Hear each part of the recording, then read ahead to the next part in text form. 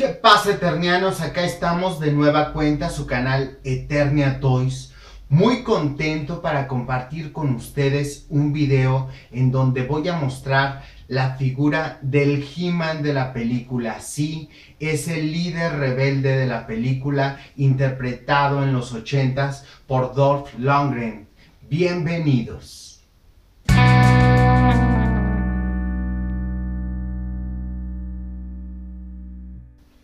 Por fin un sueño hecho realidad.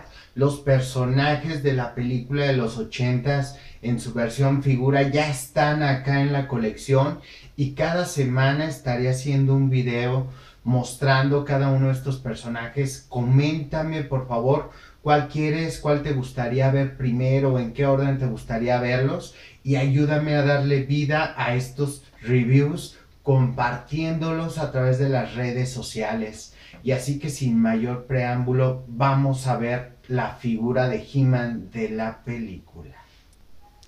Quiero iniciar este review mostrando la caja de envío o mailbox porque muestra información que con el paso del tiempo se puede convertir en importante. Miren, aparte del logo de Masters of the Universe Classic y He-Man, el líder rebelde, también nos muestra el dato de que la edad mínima para su compra sugerida son 14 años, la marca Super 7, pero sobre todo aquí en la parte de atrás de estas mailbox vamos a encontrar el año de distribución de estas figuras y vamos a encontrar también datos importantes como la dirección de la empresa. Pero bueno, dejando la caja de envío por un lado, vamos a atender un poquito a la caja, el blister, como lo conocemos. Aquí lo podemos ver en donde vamos a encontrar información interesante y la verdad es que luce la figura de maravilla. Mientras que en el backpack pues vamos a encontrar cosas muy interesantes. Miren, dando inicio por estas cuatro figuras del club Collector Choice, que la verdad, aunado, sumado a estos cuatro del Club Grayskull como son Modulo, Roboto, Stratos. La verdad, estas ocho figuras que estamos viendo aquí muy probablemente se conviertan en las ocho figuras más buscadas de la colección Classic, ya que siempre las últimas figuras de la colección tienden a ser rarísimas. De... Y miren, la bio me di a la tarea de traducirla. Quiero dejarles esta imagen para que ustedes puedan tomar una captura y hacer su propia interpretación de esta bio. Mas sin embargo, pues yo la iré comentando a lo largo del video. Y miren, yo no me pude resistir, la verdad. Pues me compré, me compré dos. Uno para guardarlo así impecable en su blister y conservarlo porque la verdad es una pieza lindísima. Y la otra pues para poderla revisar, ver, tomarle fotos, compartirla con ustedes a través de videos como este. Y bueno pues vamos a revisar la figura que la verdad está estupenda. Y quiero iniciar por el rostro ya que la verdad me parece que hicieron un trabajo estupendo Observen cómo los ojos parece que giran manteniendo la mirada al frente.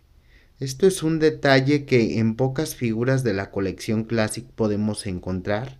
Y miren este rostro, el detalle, la textura que, que tiene el cutis, la verdad es que está increíble.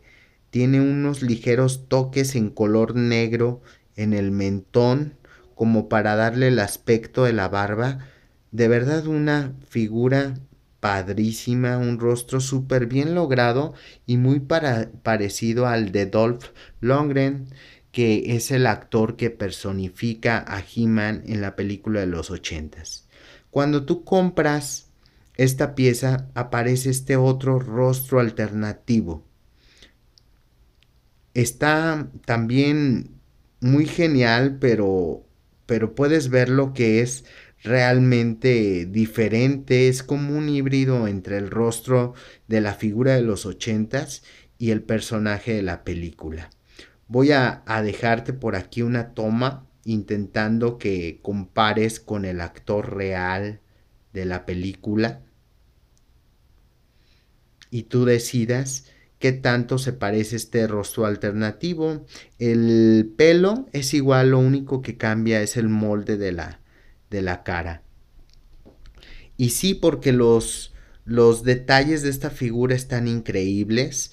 Hago hincapié en la armadura que porta, ya que en la bio dice que fue, fue elaborada con el fuego de Granamir y por Lord Dactus, quien lo, la ayudó a, a moldearle y darle forma, ya que esta armadura lo hace poderoso para que pueda enfrentarse tanto al dios Skeletor como al Skeletor de Spondos.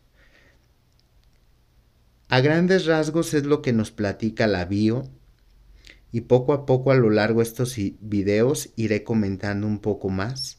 Quiero mostrar los accesorios iniciando por este que es la pistola láser Está muy bien lograda este láser. En su momento haremos una comparación con el de Saurot.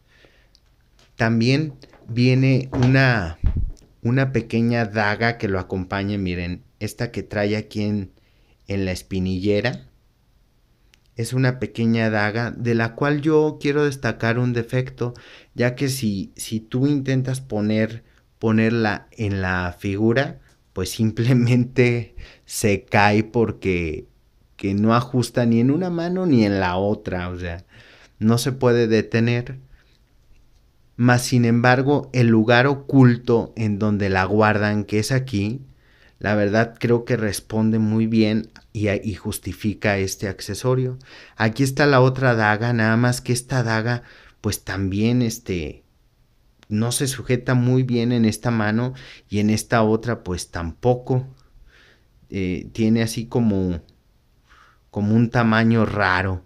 Mas sin embargo, bueno, al colocarla aquí es un prop de la película que la verdad se ve muy bien. Y vamos mostrando la espada.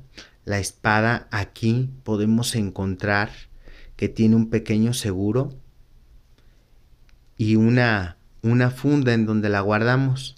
Aprovechando esta toma quiero mostrar cómo la mía traía como un detalle aquí y eso que está totalmente nueva y la he tratado con muchísimo cuidado. Pero vamos a tender la espada. Miren, vean nada más. Vean este brillo que tiene la espada.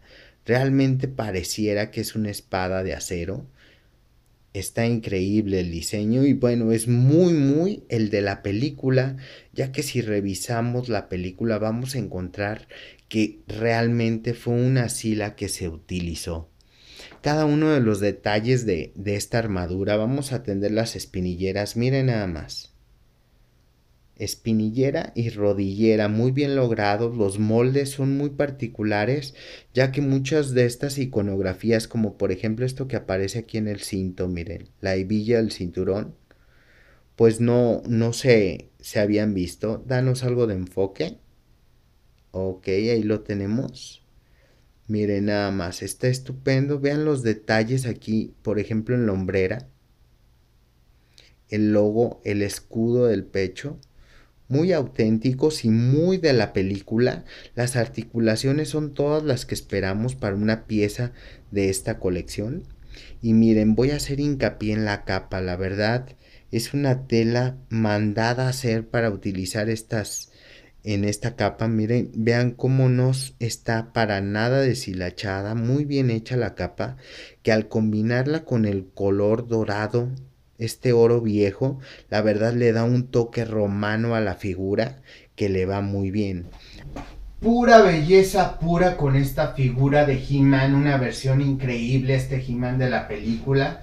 Y así está en cada una de estas figuras. La verdad, tanto Wildor, que bueno, él, él es un personaje que, que nos vendió todavía Matty Collector igual que el caso de Blade y de Saurot, la verdad, este, son piezas estupendas que todavía gozan con el logotipo de, de Matty Collector. Vamos a hacer videos de, de, todas las piezas de esta colección. La verdad es algo estupendo, yo te recomiendo que las tengas. En este caso ya estamos realizando este que es el video de He-Man. Y bueno, pues este, el dios Skeletor la verdad, ese tono dorado, la verdad es que está maravilloso. Este, claro que lo vamos a revisar con muchísimo detalle. Y aquí mismo, pues vas a poder encontrar los videos para, para cada una de estas figuras. Igual de este estupendo Skeletor con armadura negra. Despot es una maravilla. Y el comandante Carg. Están preciosas estas figuras, ampliamente recomendables. Y bueno, pues déjame recordarte que siempre las últimas figuras de cada línea suelen ser las más cotizadas o las más buscadas al paso del tiempo. Y creo que estas figuras entran dentro de esta categoría. Así que no dudes en adquirirlas, no dudes en comprarlas y tampoco vayas a dudar en seguirnos en la página de Eternia Toys y nuestro grupo de fans latinos de He-Man en donde, bueno, pues vamos a compartir fotos de estos personajes, más información, imágenes increíbles y vamos a abrir el diálogo y la conversación sobre todas estas figuras que tanto nos gustan de He-Man y los amos del universo. Así que recuerda mantenerte en contacto con nosotros.